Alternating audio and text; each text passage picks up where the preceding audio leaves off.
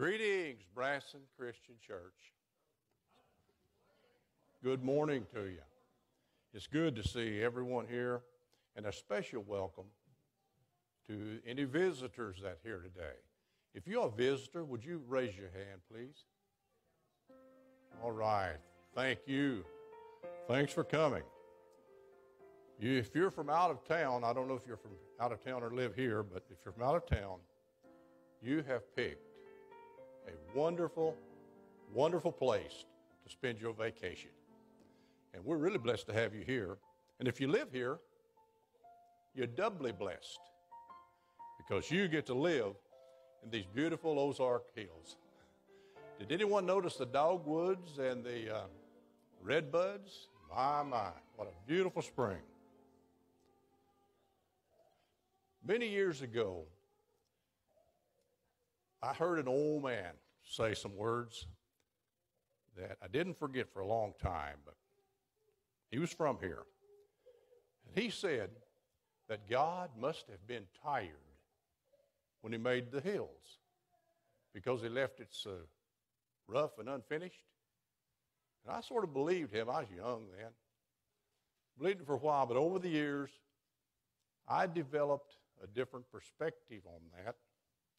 I have decided that God, when He came to this part of the country, He paused and He lingered and He made sure that He got it all just right. All you have to do is get out and walk through the hills, and you'll know what I mean. So thank God for this beautiful country. It's good to be in the house of the Lord today, and uh, I wanted to tell you that Pastor Al has taken, yeah, Pastor Al has taken uh, a week off to get some rest. I don't think he rests much, so I think he's going to be working. He's one of those working type things where he's got things he has to do. But you pray for him and Janet this week that God will give them a good week. But he plans to be back next Sunday. I have one announcement real quickly. There will be a board meeting this Thursday evening, 6 o'clock, in the fellowship hall. So please, you board members, and there's a bunch of you out there, write that down because God needs you, church needs you, and I need you really bad. So please mark that down and show up for that. Okay, uh, I think Judy has something, she, announcement. Yes, and I know that all of you have been waiting for this good news. By the Way Thrift Shop is scheduled to reopen June 3rd. And I want to thank all of the volunteers that have already. We had a meeting, and it uh, we have 24 people in this church that are willing to be involved with us in one way or the other, and we could not do this without them. Um, the only thing that else that I need to tell you is we do need some strong bodies because we have the, a room up in the education building that is completely full that goes in the thrift shop. So we've got some carrying to do before this time.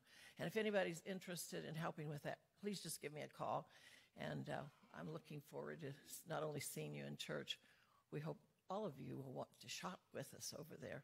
Thank you.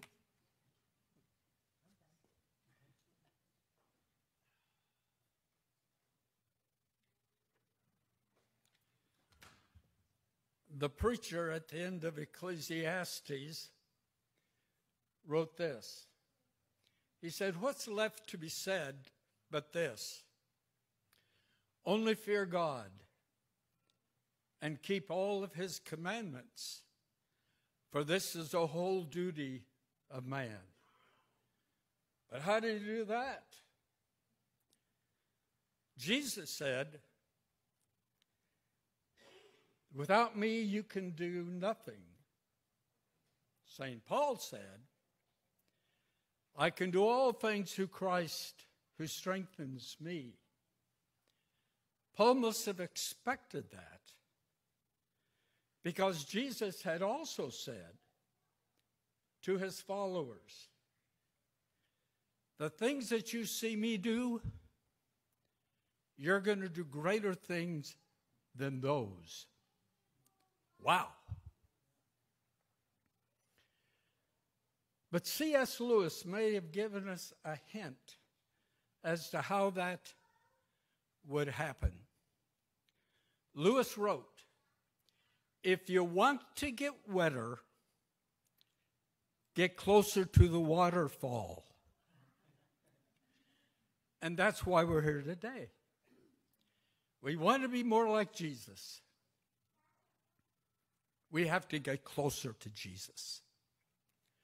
I think John will probably help us with that today in a sermon. Okay, for opening hymn, the words are on the screen. Sing verses 1, 3, and 5. Number 118 out of the chalice.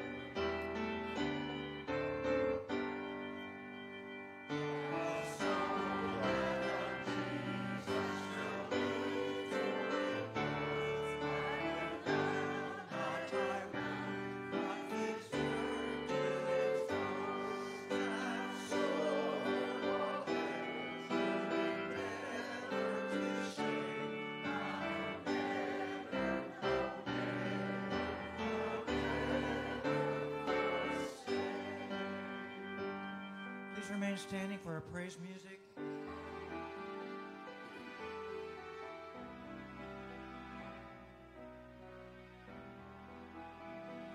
Lift up your voice and sing as for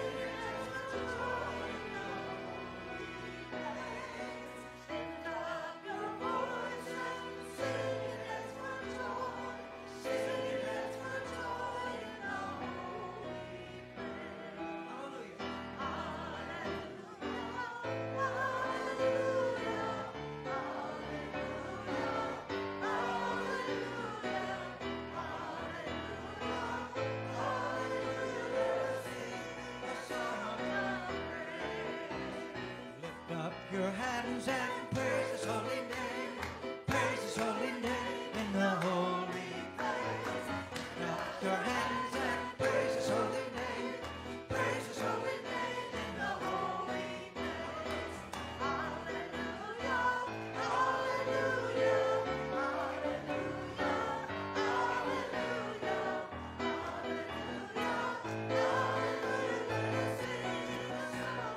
Lift up your voices.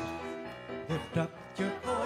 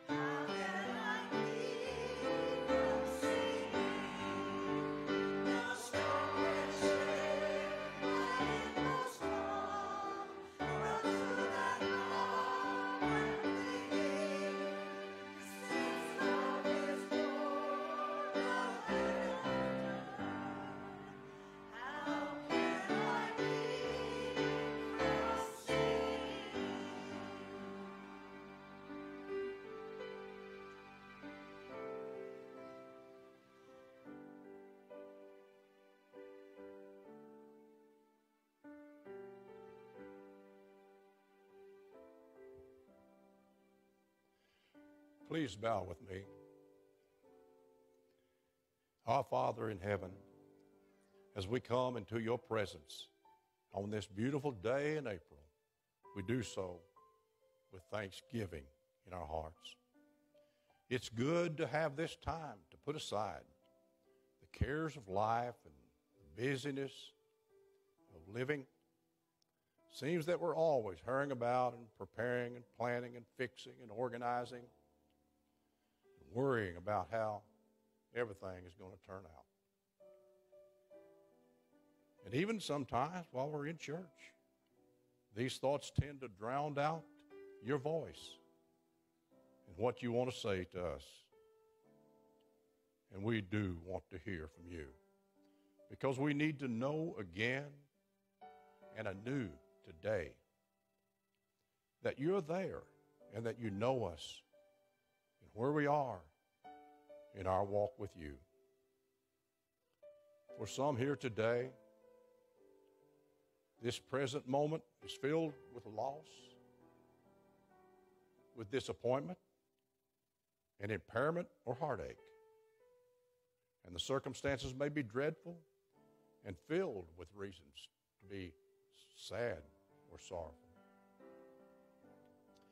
But those folks need you and they need us and the comfort of being in fellowship with you and with each other. And now, with one mind and one accord, we will pray the prayer that Jesus taught his disciples so many years ago. Our Father, who art in heaven, hallowed be thy name. Thy kingdom come, thy will be done, on earth as it is in heaven. Give us this day our daily bread, and forgive us our debts as we forgive our debtors. And lead us not into temptation, but deliver us from evil. For thine is the power and the glory. Amen. Uh, sound room, this is number 48. Number 48. I told you the page number instead of the.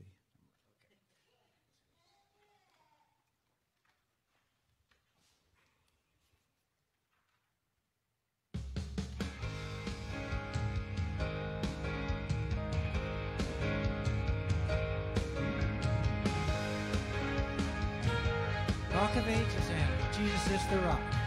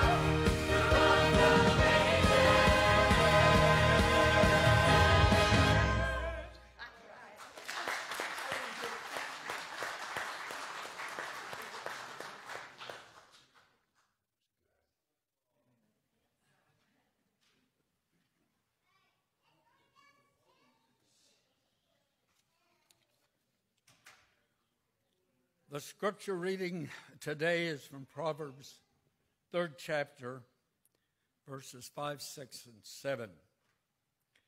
Trust in the Lord with all your heart.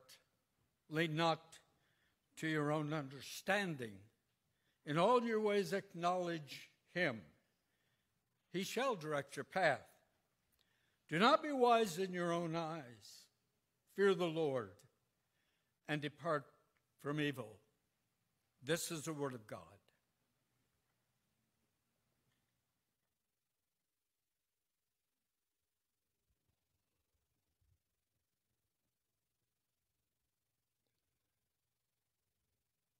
Thank you, Jerry. Well done.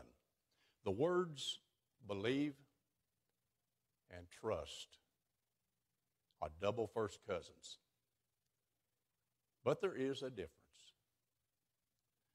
To believe is to show acceptance of another person's words. To trust is used to demonstrate the reliance on the other's overall character. So, as we go through this today, I hope to convey to you the meaning behind this special word. One of the greatest blessings that you'll ever receive in your life is to have complete trust in someone or something. And by the same token, one of the greatest disappointments that will ever incur in your life if that trust is somewhat, somehow broken. And this can happen. But my intent today is to not spend a lot of time or energy on the negative side of this. So let's try to address this subject from a couple of different angles. One from the human aspect, which would be temporal or worldly, and more importantly, from a spiritual view, which would, of course, be eternal and everlasting. To better deliver what I have in my heart, I've chosen a couple of uh, human interest stories or personal stories.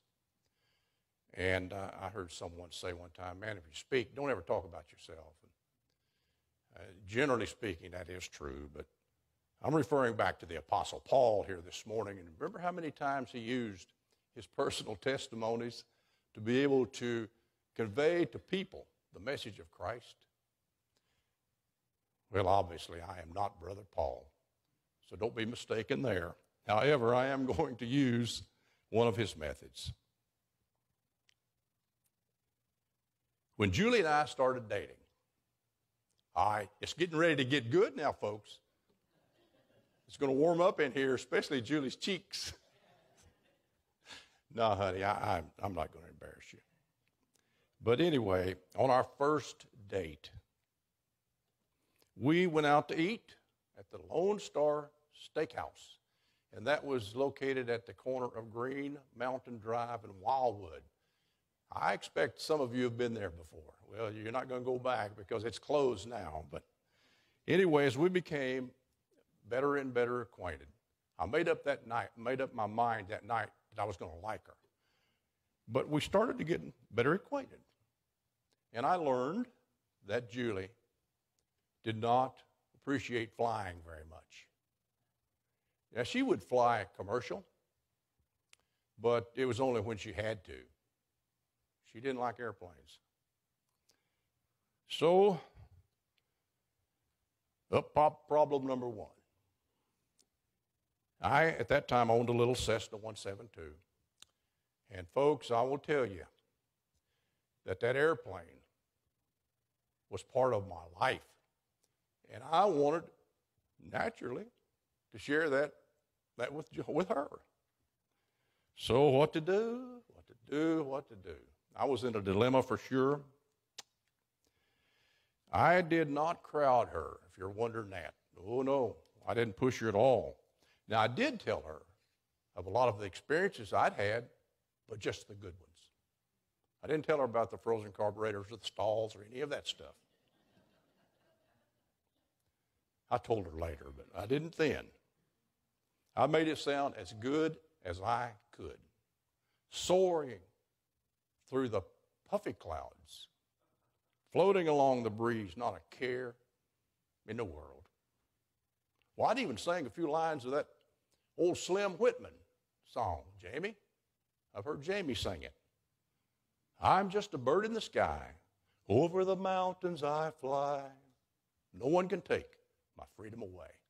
I tell you, I gave it my best shot. I did everything I could do.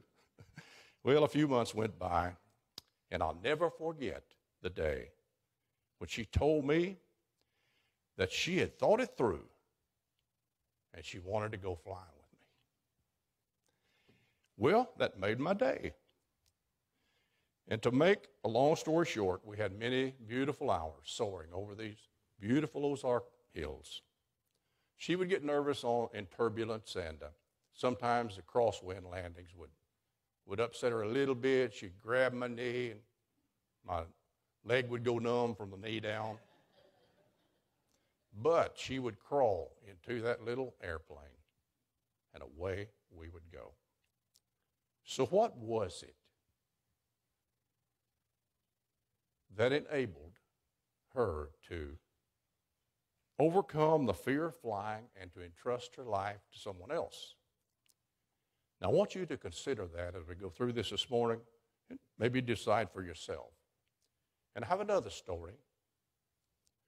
When my son, Michael, he was just a little guy, maybe two years old, I'd stand him up on a porch railing, I'd get down below, and I would hold out my hands and say, Jump, son. The very first time I did this, without any hesitation, he sailed right off of that right into my hands. Now, you might think that maybe this is a little bit of blind trust, but really it wasn't. Mike was a bright eyed little guy. He's pretty sharp. And you see that trust that he showed in that instant that enabled him and gave him the confidence to make that leap. That, that had been instilled in him since he's born, just through little things, little experiences here and there. At that young age, Mike had made up his mind that he was going to trust me. He knew by then that he wouldn't always get his way. He knew there were boundaries and there were perimeters that he's going to have to live in. But he learned to depend upon my word. That is just a little story about a father and a son, but it gives us a lot of insight about this precious thing we call trust. Men and women everywhere have a, a, a deep seated need to be able to have something that they can truly depend on. In our day to day human relationships, it becomes so necessary for our well being that we build up and maintain trust. To our inner spirit, it's like, it's like oxygen to your blood. It's so needed. The happiest people on earth are those who have developed those kind of relationships. And of course, we've learned through this pandemic just how critical our connection to one another is. It's really become obvious. So here's the question, and I think all of you probably knew this one was going to come around quickly. Do you trust God? Do you really trust Him? What Jerry read to you this morning out of the book of Proverbs and what I'm fixing to read in just a second, they can very, very well be the things that could help you cement that connection with God. Remember what Jerry read, and I'm going to read you a scripture out of the book of Jeremiah, chapter 17, verse 7 and 8. Now, Jeremiah was, uh, he was known as the weeping prophet. He wrote the book of Lamentations also.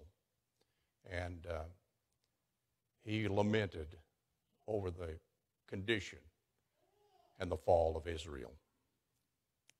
But he wrote these words He said, Blessed is the man who trust in the Lord, and whose hope is in the Lord. For he shall be like a tree planted by the waters, which spreads out its roots by the river. God will honor those who trust him. You can hang your hat on that.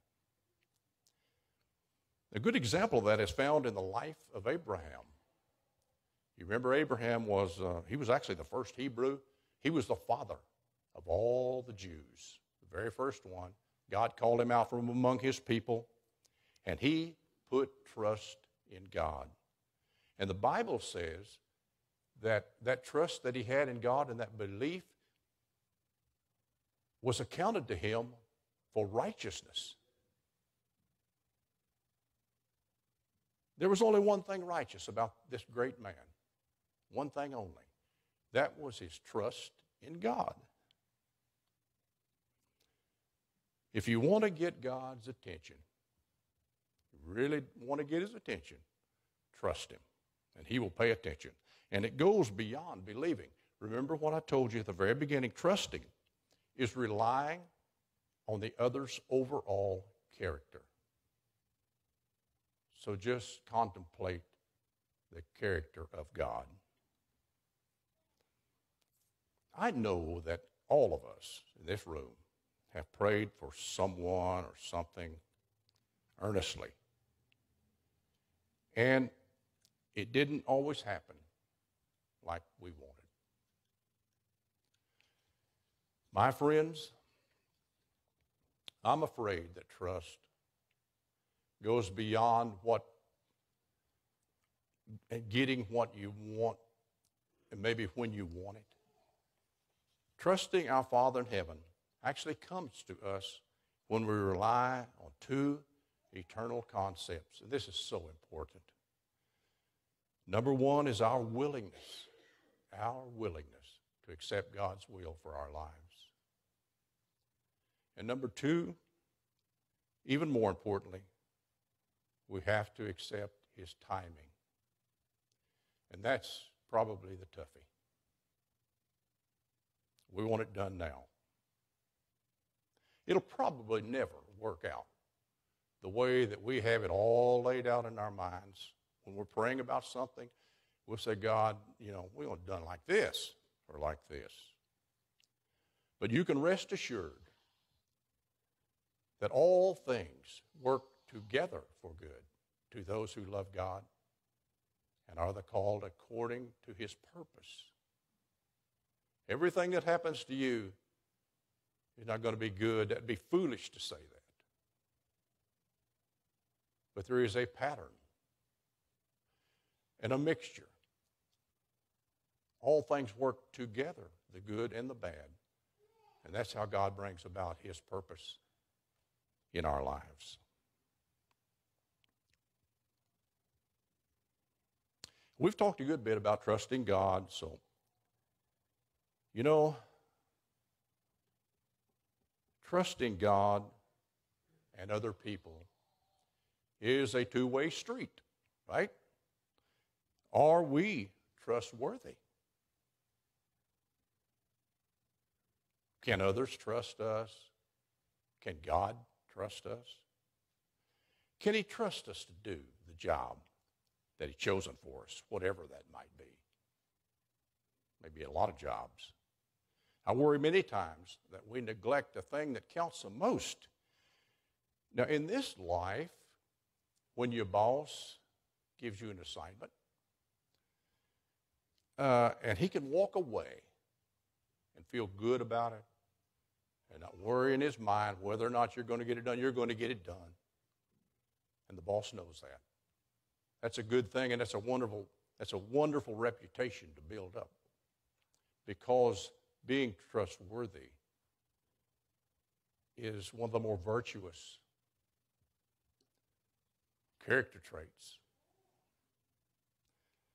But what about when the Holy Spirit entreats you sometimes, maybe in the middle of the night or the wee hours? That's happened, I know. And He gives you an assignment that only you can carry out. I am convinced in my heart that every one of us here today wants God to be able to rely on us. And I know we all try hard to trust and obey. But the, the big question that I have for us here today, and folks, this is the very heart of, of this message today. What if we fail? And I can tell you, my dear friends, we will fail, sometimes more than once. But remember this you really can't fail in anything in life unless at first you've tried. I know that we often refer to the book of Job. Uh, Job's a well known character in the Bible. And we, we, we wonder how God could put his trust in this mortal man. But he did. He did. He said to Satan himself, He said, Have you considered my servant Job? He trusted Job. I sometimes wonder how or why would God trust me? Surely, surely I've failed too many times for God to even bother anymore.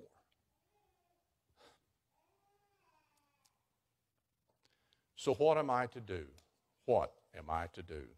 The Apostle Paul, in the book of Romans, he must have been facing and going through something similar to this when he said, O wretched man that I am, who shall deliver me? He was going through some stress. Well, this is what I say to you this morning. Thanks be unto God for his unspeakable gift, Jesus Christ our Lord. When God looks at you, he does not see all your failures. He doesn't. When he looks, he looks beyond our faults and he sees our need. When he looks at us, he sees the righteousness and the power and the blood of Jesus Christ. That's what he sees. There's an old hymn that says, This is all my hope and peace, nothing but the blood of Jesus. And this is all my righteousness, nothing but the blood of Jesus. As I close this message, I would love to encourage you with just a few more words. When you feel like that you have failed God, don't despair. I promise you, it is not the end of the world. He knows that the spirit indeed is willing, but the flesh is weak. God knows that. Peter, in one of his darkest hours, failed God. Not just once, three times in a row. At the same time that Jesus was going through the mock trial in that judgment hall that night before the, the day of the crucifixion, they were abusing him, spitting on him, slapping him, going through all kinds of abuse. At that same time, Peter was out on the porch, warming himself at the fire, very confused young man, and he denied the Lord three times.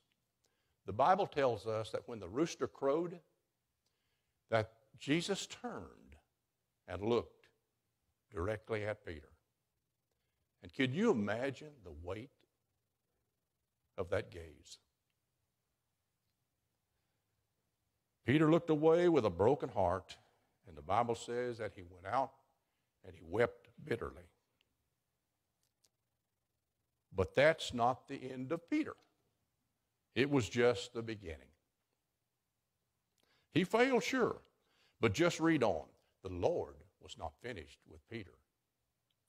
Jesus still trusted Peter. And at the tomb on the resurrection, you remember reading this? We just went through the, uh, the Lenten season Easter. But an angel appeared to three women at the tomb that, that morning. And he told them to go tell the disciples and Peter that Jesus has arisen and he will go before them and meet them in Galilee. Well, you will fail and you will fall. But here's the key, folks the key is to rise each time you fall. So, what does a pastor say when he comes to the end of his message? Amen. All right. Thank you. Thank you for listening.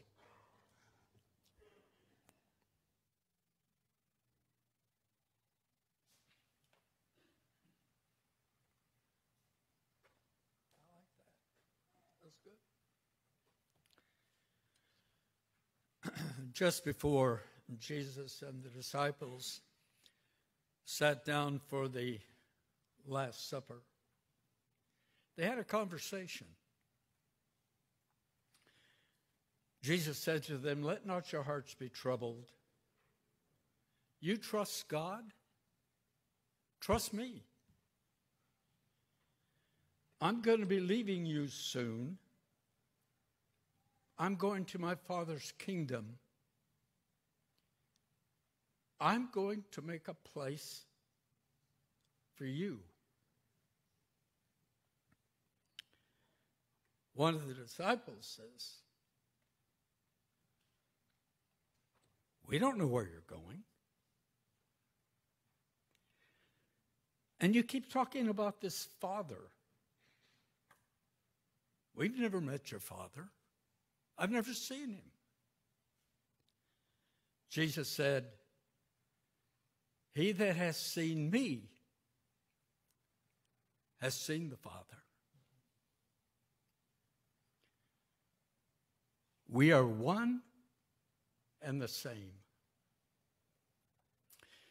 Well, they still had questions. You say that you're going somewhere and we know the way. I don't know where you're going. How can I know the way? Jesus respo- uh, responded, He said, I know the way. I am the way. I will show you. Just follow me. And so, as, as we prepare to follow Jesus to the communion table, let's turn to our communion hymn. Fill my cup, Lord.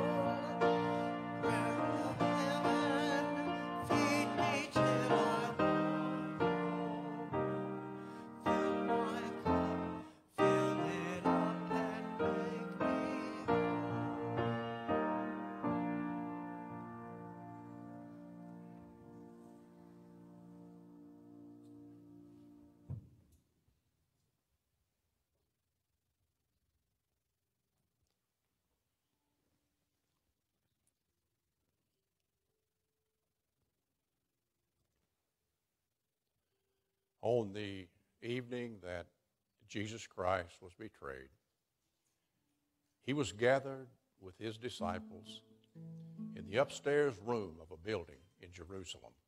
And he was there to, to uh, celebrate the Passover with them. And they did not realize as they spent that time with the Lord, it would be the last Passover they would spend with Him. But also, they did not realize that they were in the presence of the Passover lamb.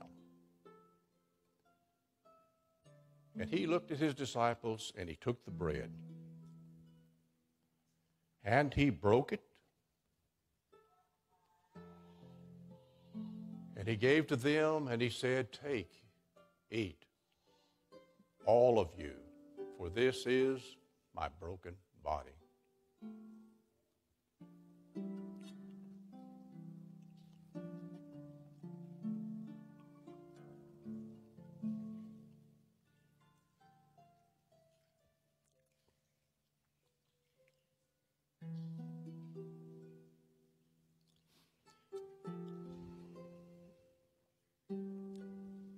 And then he took the cup, he raised it, he blessed it, and he told his disciples, he said, This is the blood of the new covenant that is going to be given for the remission of sins.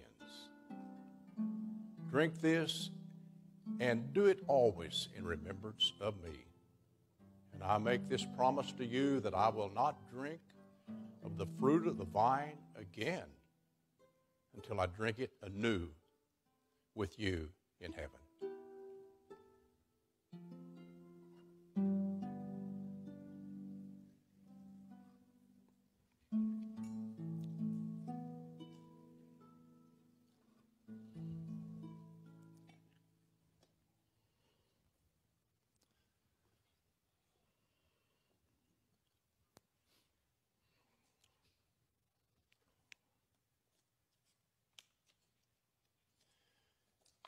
I'd like to say a few words about the tithes and offerings.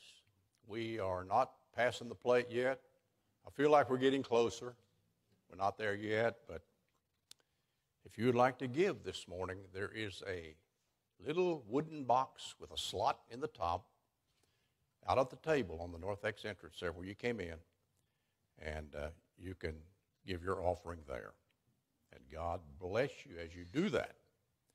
And uh, online, you can look on our Facebook page, Branson Christian Church Facebook, and also the uh, Branson Christian Church website.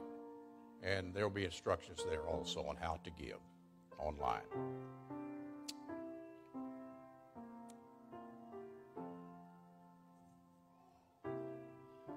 At this time in our service, we're going to sing the hymn of invitation.